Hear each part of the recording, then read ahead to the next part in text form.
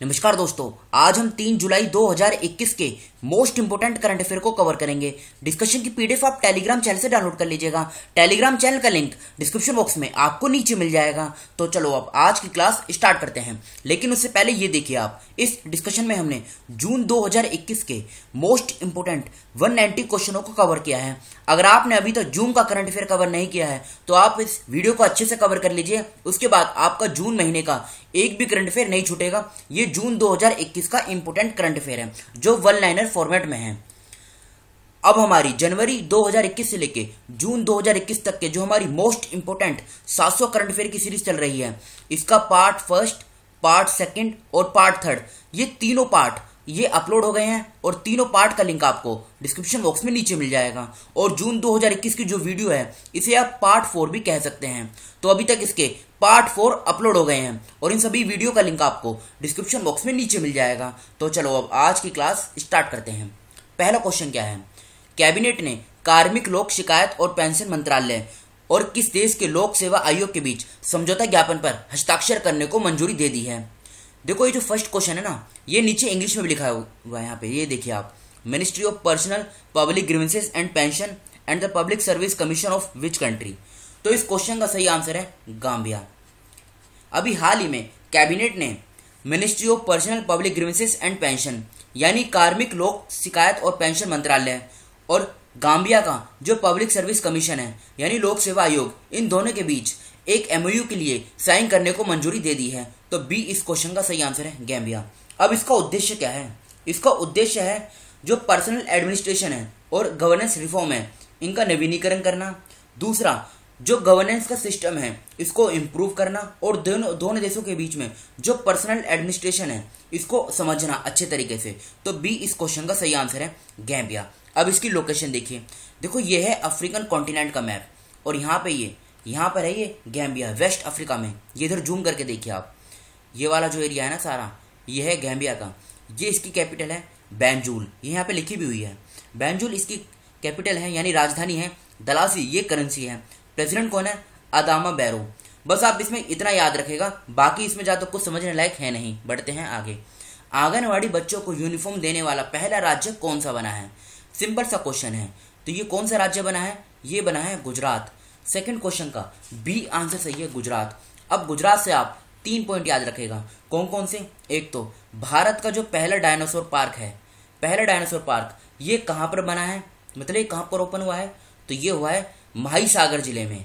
माही सागर जिला ये कहाँ पर है? ये गुजरात के अंदर है। और माही सागर ज़िले में भी एक गाँव है, नाम क्या है? रायोली। ये आप याद रखेगा कि भारत का जो पहला डायनासोर पार्क है, ये माही सागर ज़िले के रायोली विलेज में ये बना है। दूसरा, दुनिया का सबसे बड़ा क्रिकेट स्टेडियम ये कहाँ पर बना है? ये बना है अहमदाबाद में। नाम क्या है? Narendra Modi cricket stadium.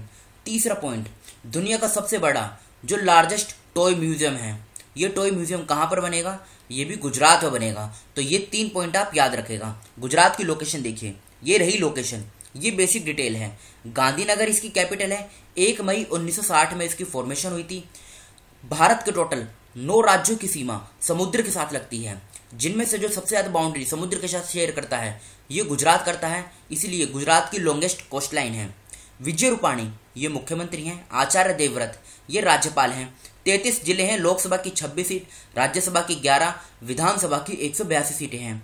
Rajasthan, Madhya Pradesh और महाराष्ट्र, तीन राज्यों के साथ इसकी सीमा लगती है। अहमदाबाद में इसकी हाईकोर्ट है, जहाँ के मुख्य न्यायाधीश है विक्रमनाथ। गिर नेशनल पार्क जिसे लैंड ऑफ़ एशियटिक लाइन्स भी कहा जाता है। क्यों? क्योंकि भारत के अंदर ये जो एशियटिक लाइन्स हैं, ये सिर्फ़ गुजरात में देखने को मिलेंगे। और गुजरात में भी कहाँ पर? इसी गिर नेशनल पार्क में। इसलिए इसे लैंड ऑफ़ एशियटिक लाइन्स कहा जाता है। Kutch desert wildlife sanctuary Vansda national park Indian wild ass sanctuary marine national park Narayan Sarovar sanctuary Barda hills wildlife sanctuary Nal Sarovar bird sanctuary Bhavnagar blackbuck national park ये सभी गुजरात में है। Sursagar lake, थोल lake और Gomti lake. ये तीनों lake भी गुजरात में है। सरदार सरोवर डैम, जो नर्मदा रिवर के किनारे पे है। कमलेश्वर डैम, ये हिरन रिवर के किनारे पे है। दंतीवाड़ा डैम, ये बानस रिवर के किनारे पे है। और कड़ाना डैम, जो माही रिवर के किनारे पे है। ये चारों डैम आप याद रखेगा। इंपोर्टेंट है ऊपर के दो डैम, सरदार सरोवर डैम और कमलेश्वर डैम। ये दोनों डैम गुजरात में स्थित हैं। किस राज्य ने सोल्ट कार्यक्रम शुरू किया है? सबसे पहले तो आप ये जान लीजिए, ये जो सोल्ट है सोल्ट का पूरा नाम क्या है? ये जो सोल्ट कार्यक्रम है, देखो, इसका पूरा नाम है एस से आता है सपोर्टिंग ए से आता है आंध्र, यानी आंध्र प्रदेश आप कह सकते हैं एल से आता है लर्निंग और टी से आता है transformation supporting Andhra learning transformation और समझते हैं। बेसिक एजुकेशन में जो स्कूल मैनेजमेंट और टीचिंग की क्वालिटी है, इसको इम्प्रूव करना। यानी आप ये कह सकते हैं लर्निंग आउटकम्स को बेहतर बनाना, उनको इम्प्रूव करना। इस कार्यक्रम को भी आंध्र प्रदेश की सरकार ने लॉन्च किया है। तो ए, इस क्वेश्चन का सही आंसर है। और इसमें वर्ल्ड बैंक भी 250 मिलियन डॉलर की सहायता प्रदान करेगा आंध्र प्रदेश सरकार को। तो ए, इस क्वेश्चन का सही आंसर है। ये रही आंध्र प्रदेश की लोकेशन ये बेसिक डिटेल है। हैदराबाद इसकी कैपिटल है। एक नवंबर उन्नीस सौ छप्पन में फॉर्मेशन हुई थी। वाई एस जगन मोहन रेड्डी, ये मुख्यमंत्री हैं। विश्वभूषण हरिचंदन, ये राज्यपाल हैं। तेरह ज़िले हैं, लोकसभा की 25 सीट, राज्यसभा की 11 विधानसभा की 175 विधान परिषद की अट्ठावन सीटें हैं। Papikondalu national park, Nagarjun Srisailam sanctuary, Coringa wildlife sanctuary Rollapadu wild life sanctuary, ये सभी आंध्र प्रदेश में स्थित हैं। ओडिशा, छत्तीसगढ़, तेलंगाना, कर्नाटका और तमिलनाडु, पाँच राज्यों के साथ सीमा लगती है। अमरावती में इसकी हाई कोर्ट है। अमरावती, जो देश की पच्चीसवीं हाई कोर्ट है और लेटेस्ट हाई कोर्ट है। यहाँ के मुख्य न्यायाधीश हैं अरूप कुमार गोस्वामी। लेक की बात करें, पुलिकट लेक जो आंध्र प्रदेश और तमिलनाडु दोनों के बॉर्डर पे है। ये लेक इंपोर्टेंट है। कोलिरू लेक और कुंभम लेक ये सभी लेक आंध्र प्रदेश में स्थित हैं। राष्ट्रीय चिकित्सा दिवस कब मनाया जाता है, बताइए। तो ये जो नेशनल डॉक्टर्स डे है, ये हर साल एक जुलाई को मनाया जाता है। अब पूछा जाए कि एक जुलाई को ही क्यों मनाया जाता है, क्योंकि एक जुलाई को जो पश्चिम बंगाल के दूसरे मुख्यमंत्री हैं, नाम क्या है इनका? Doctor B C Roy. Doctor B C Roy, इनका पूरा नाम क्या है? विधान चंद्र रॉय। इनकी बर्थ एनिवर्सरी और डेथ एनिवर्सरी, ये एक ही दिन मनाई जाती है, एक जुलाई को। ये महान डॉक्टर थे, ग्रेट फिजिशियन थे, इसलिए एक जुलाई को नेशनल डॉक्टर्स डे ये मनाया जाता है। और इसे कब से बनाना स्टार्ट हुआ है? तो ये 1900 कब से इक्यानवे से बनाना स्टार्ट हुआ है? ये जो डॉक्टर बी सी रॉय हैं, इनको 1961 में भारत रत्न भी मिल चुका है। ये भी फैक्ट भी आप याद रखेगा अच्छा ये बताइए इंटरनेशनल नर्स डे ये कब मनाया जाता है? ये आप बताइएगा कमेंट बॉक्स में कि इंटरनेशनल नर्स डे ये कब मनाया जाता है? इसका आंसर आपको बताना है कमेंट बॉक्स में खुद से। चौदह जून को, चौदह जून को वर्ल्ड ब्लड डोनर डे ये मनाया जाता है। पंद्रह जून को वर्ल्ड विंड डे ये मनाया जाता है। और तेईस जून को यूनाइटेड नेशंस का पब्लिक सर्विस डे, ये मनाया जाता है। ये सभी फैक्ट आप याद रखेगा इंपॉर्टेंट है। किसने ऑल इंडिया रेडियो के महानिदेशक के रूप में कार्यभार संभाला है, ये इस क्वेश्चन में पूछा गया है। तो इस क्वेश्चन का सही आंसर क्या होगा? इस क्वेश्चन का सही आंसर है एन वेणुधर रेड्डी एन वेणुधर रेड्डी ये है कौन? ये 1988 बैच के इंडियन इंफॉर्मेशन सर्विस ऑफिसर हैं। इन्होंने भी हाल ही में ऑल इंडिया रेडियो का जो डायरेक्टर जनरल पोस्ट है, उसके लिए चार्ज संभाला है। बात करें दूसरे ऑप्शन की, जैसे V R Chaudhary. V R Chaudhary, Vivek Ram Chaudhary, ये वायुसेना के उप प्रमुख बने हैं। नुकलू फोम नुकलू फोम को विटली अवार्ड 2021 से सम्मानित किया गया था। आर के सबरवाल, इनको मंगोलिया का highest award, the pole, the order of polar star, the order of polar star से सम्मानित किया गया है। तो फिफ्थ क्वेश्चन का बी आंसर सही है, एंड वेनुधर रेड्डी। कृषि और किसान कल्याण मंत्रालय ने किस शहर में राष्ट्रीय बागवानी बोर्ड, एनएचबी केंद्र शुरू किया है? तो आंसर क्या होगा? ग्वालियर। सिक्स क्वेश्चन का। सी, आंसर सही है। ये मंत्रालय किसके पास है? नरेंद्र सिंह तोमर। इनके पास है ये मंत्रालय। ये आप याद रखेगा। ग्वालियर मध्य प्रदेश में है तो ये रहा मध्य प्रदेश का important current affair Madhya Pradesh सरकार ने अंकुर योजना शुरू करने की घोषणा की है। रानी पद्मावती, इनका जो मेमोरियल है, ये भोपाल में बनेगा। मध्य प्रदेश सरकार ने संकल्प अभियान शुरू किया। यूनेस्को का जो मैन एंड बाइस्फीयर प्रोग्राम है इसमें पन्ना टाइगर रिज़र्व को शामिल किया गया है। मध्य प्रदेश सरकार ने शुरू किया योग से निरोग कार्यक्रम। ये सभी फैक्ट याद रखेगा। ये मध्य प्रदेश की लोकेशन है। ये इसकी बेसिक डिटेल है। भोपाल में इसकी कैपिटल है।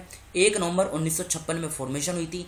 शिवराज सिंह चौहान मुख्यमंत्री हैं। आनंदीबेन पटेल राज्यपाल हैं। बावन ज़िले हैं। लोकसभा की उनतीस सीट, राज्यसभा की ग्यारह, विधानसभा की दो सौ तीस सीटें हैं। नेशनल पार्क की बात करें। Bandhavgarh national park, Kanha national park, Madhav national park Panna national park, Pench या फिर Priyadarshini national park, Sanjay national park, Satpura national park, fossil national park. ये सभी मध्य प्रदेश में हैं। गुजरात, राजस्थान, उत्तर प्रदेश, छत्तीसगढ़, महाराष्ट्र। पाँच राज्यों के साथ सीमा लगती है। जबलपुर में इसकी हाई कोर्ट है, जहाँ के मुख्य न्यायाधीश हैं मोहम्मद रफीक। बढ़ते हैं आगे। किस किसने विदेश मंत्रालय, यानी मिनिस्ट्री ऑफ़ एक्सटर्नल अफेयर्स में सचिव, यानी वेस्ट के रूप में पदभार ग्रहण किया है? ये पश्चिमी साइड से हैं। तो आंसर क्या होगा? रीनत संधु। ये इनका सही आंसर है। बात करें दूसरे ऑप्शन की। हर मतलब ये जो हर ऑप्शन है ना, ये इंपोर्टेंट है। एल प्रशांत पी से एल प्रशांत पी से इनको इराक में नेक्स्ट इंडियन एम्बेसडर अपॉइंट किया गया है, यानी अगले राजदूत, संजीव कोहली। इनको सर्बिया में राजदूत अपॉइंट किया गया है। कृतिक रंग, इनको वाइल्ड इनोवेटर अवार्ड 2021 से सम्मानित किया गया है। तो सेवंथ क्वेश्चन का बी आंसर सही है रीनत संधु। वैश्विक साइबर सुरक्षा सूचकांक 2020 में भारत किस स्थान पर रहा है? तो अभी हाल ही में इंडिया ने सैंतीस रैंक का मतलब सैंतीस स्थान का इंप्रूव किया है तो इसमें रही है tenth rank last year Bharat को इसमें सैतालीसवीं रैंक हासिल हुई थी। अब क्वेश्चन उठता है कि ये इंडेक्स जारी किसके द्वारा किया जाता है? तो I T U I T U है क्या ये? ये इंटरनेशनल टेली कम्युनिकेशन यूनियन है। इसके द्वारा इस इंडेक्स को जारी किया जाता है। इस बार इसका ये फोर्थ एडिशन था, जो भी हाल ही में रिलीज़ हुआ है। अब क्वेश्चन उठता है, टॉप किसने किया है? तो पहला स्थान प्राप्त हुआ है अमेरिका को, दूसरे स्थान पे यूके और सऊदी अरेबिया। ये दोनों एक साथ रहे हैं। तीसरे स्थान पे इस्टोनिया और अपना देश भारत रहा है कौन से स्थान पे? ये रहा है दसवें स्थान पे। यह आप याद रखेगा। क्राइटेरिया क्या होता है? मतलब किन किन आधार पर इसमें रैंकिंग दी जाती है? जैसे legal measures technical measures organisational measures capacity development cooperation ये पाँच चीज़ों पर इसमें रैंकिंग दी जाती है। ग्लोबल साइबर सिक्योरिटी देखो नाम से ही ज़ाहिर होता है साइबर सिक्योरिटी जैसे आपका मोबाइल का लैपटॉप का मतलब आपके जो अपने पर्सनल डाटा होते हैं, उन सबसे संबंधित ये साइबर सिक्योरिटी होती है, जिसका किसी प्रकार से मिसयूज ना हो सके। तो एट्थ क्वेश्चन का ए आंसर सही है। कहाँ के द्वीपों में 150 वर्ष पहले विलुप्त हो चुके चूहे, ये प्रजाति है चूहे की। सीडोमिस गोल्डी चूहे की प्रजाति फिर से मिली है। तो नाइन्थ क्वेश्चन का। ये सही आंसर क्या होगा? ऑस्ट्रेलिया वेस्टर्न ऑस्ट्रेलिया के जो आइलैंड हैं वहाँ पर ये मिली हैं। बस आप इतना याद रखेगा और इसकी ये जो स्पीसीज है नाम क्या है? सीडोमिसिस यहाँ पे हिंदी में देखिए। सीडोमिस गोल्डी ये इसका नाम है जो आपको याद रखना है। राष्ट्रीय डाक कर्मचारी दिवस। ये कब मनाया जाता है? या, यानी नेशनल पोस्टल वर्कर्स डे तो ये कब मनाया जाता है? ये हर साल एक जुलाई को मनाया जाता है। टेंथ क्वेश्चन का। ए आंसर सही है। इसे फ़र्स्ट टाइम 1997 में मनाया गया था। ये फैक्ट भी आप याद रखेगा। ठीक है, ये तो थी हमारी करंट अफेयर की क्लास अब ये हमारे कल के क्वेश्चन जो आपसे पूछे गए थे। जम्मू और कश्मीर के उपराज्यपाल ने हौसला कार्यक्रम शुरू किया। हौसला पहल मतलब जम्मू और कश्मीर के उपराज्यपाल कौन है? प्रेजेंट टाइम में। तो मनोज सिन्हा सही आंसर है। किस राज्य ने सरकारी नौकरियों में सभी भर्तियों के लिए साक्षात्कार, यानी इंटरव्यू रद्द कर दिया है? तो आंध्र प्रदेश सही आंसर है। किसको संयुक्त राष्ट्र संघों के भारतीय संघ का अध्यक्ष नियुक्त किया गया है। तो शंभुनाथ श्रीवास्तव ये सही आंसर है। कौन टोक्यो ओलंपिक के लिए क्वालिफाई करने वाली पहली भारतीय महिला गोल्फर बन गई हैं? अदिति अशोक सही आंसर है। फुकू ओका पुरस्कार 2021 के, के तीन प्राप्तकर्ताओं में से किस प्रसिद्ध भारतीय पत्रकार को चुना गया? तो पी साईनाथ सही आंसर है।